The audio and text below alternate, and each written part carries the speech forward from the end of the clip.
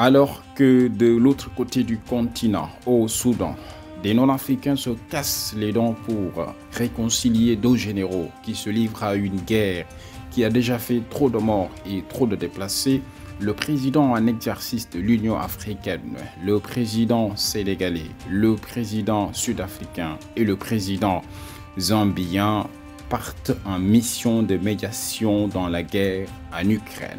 À peine arrivés en Ukraine, ils sont accueillis par une attaque de missiles russes.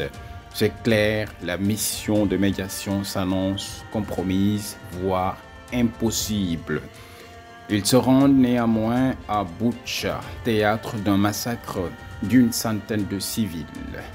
Place maintenant aux échanges et aux discours entre Zelensky et ses hôtes.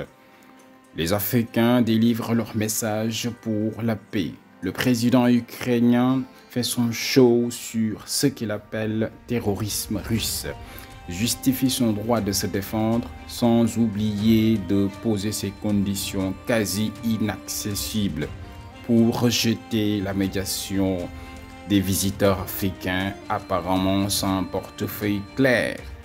En somme, aucune garantie n'est obtenue en Ukraine. Il faut continuer en Russie, même si le résultat de l'échec est évident.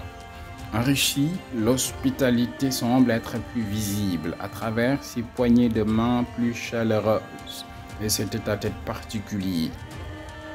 Alors que le Sud-Africain Cyril Ramaphosa plaide pour le trafic des céréales dont l'Afrique dépend en grande partie, le russe Vladimir Poutine monte au créneau pour faire porter la responsabilité du problème des céréales aux Occidentaux qui livrent des armes à l'Ukraine.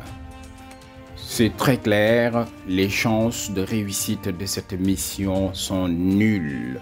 La souris ne pouvait pas accoucher d'une montagne.